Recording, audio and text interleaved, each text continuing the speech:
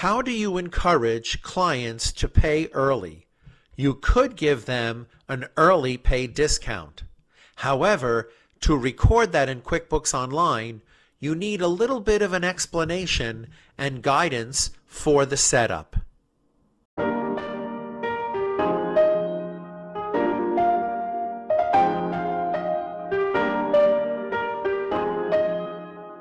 If you have any questions about this topic, you can leave them in the comments section below and I'll do my best to help you.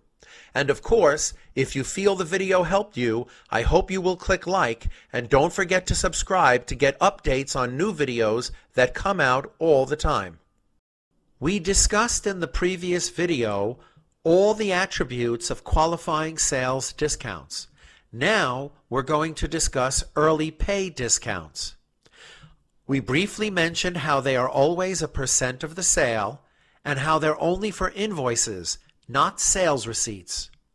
A customer receives the discount if they pay the invoice within an agreed upon number of days, and you must put the terms of that agreement on the invoice on the day of the sale for the customer to sign off on. How does the early pay discount work? Well, the discount is usually a percent of the sale. The discount is only given if it's paid before a specific date. The last day that the customer can receive the discount when paying is called the discount date. The customer can choose not to take the discount and pay after the discount date. However, they still must pay before the final due date listed on the invoice, and then in that case they would have to pay the full amount. So how do you set up for an early pay discount? Well, you have to activate the early pay discount in the company settings window. After you do that, two things will happen. First, this will put the discount account in the chart of accounts to track the total of all early pay discounts given. And secondly, this will add the discount field to the bottom of the invoice window. Let's go ahead and activate it. We click the cog wheel, then we go across to company settings. Then we click the sales category and you can see right now that the discount is off by default. You can click anywhere here or in the pencil to open up this little panel and be able to change these options. And we are only going to change discount so we can click anywhere. Now that it's open, we're going to click the box to the left of the word discount. And when we do that, the word off becomes the word on. Now we save this setting and click done.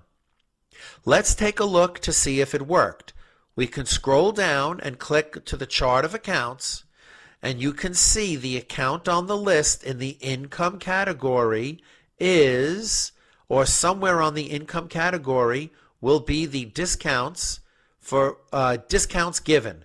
That's the name of the account that QuickBooks Online automatically creates when you activate discounts in the company settings window. What else is different?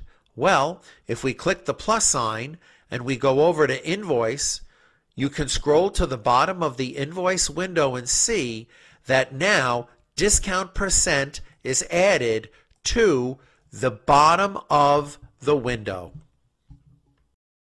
And the second thing that you must do in order to set up for early pay discount is put the terms that the customer will agree to on the terms list. Terms means the rules that you agree with your customer regarding how the customer can get the early pay discount. And they're usually listed on the face of the invoice in this format. For example, if it's written 210 net 30, it means the customer will get a 2% discount on the entire sale if the entire invoice is paid in full within 10 days. If not, then no matter what, the full amount of the invoice is due within 30 days. What if the terms are listed like this 115 net 45? This means the customer will get a 1% discount on the total sale if the entire invoice is paid within 15 days. If not, then no matter what, they have to pay the full amount before 45 days of the date listed on the invoice. To open up the terms list in QuickBooks Online, click the cog wheel and then go over and click All Lists. Here's terms on the list of lists. If you click Terms, you see each term that already comes by default with QuickBooks Online. And we can make our own. In the top right of the terms list, you can click New. Now, what terms are we going to create? Let's make one that says 310 net 45. But instead of this format, let's do it the way it looks in, with the other ones, like this 310 net 45. When you make new terms, you have to put it in the name box exactly as you would like to see it appear on the invoice. 3%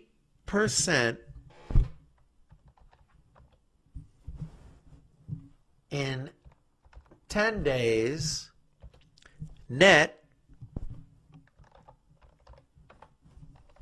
45 and when and now we want to say well if it's due in a fixed number of days then the number of days would be 10 10 days from the date of the invoice. Notice you don't put the percent when you create the terms you simply create the label as the name and the number of days click save and now our terms is now listed on the terms list and we can use it to record an invoice. Congratulations! Your QuickBooks Online is now set up and ready to use the early pay discount.